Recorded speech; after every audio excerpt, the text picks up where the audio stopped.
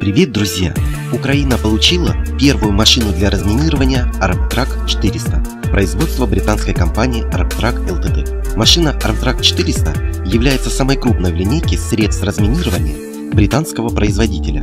Машина оборудуется трехметровым роторным культиватором, который вспахивает землю на глубину до 55 см и выдерживает подрыв противотанковых мин эквивалентных 10 кг тротила.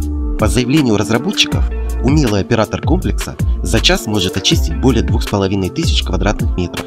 Комплекс может управляться оператором из бронированной кабины, оборудованной кондиционером, или с пульта дистанционного управления, находясь от машины на расстоянии до 800 метров.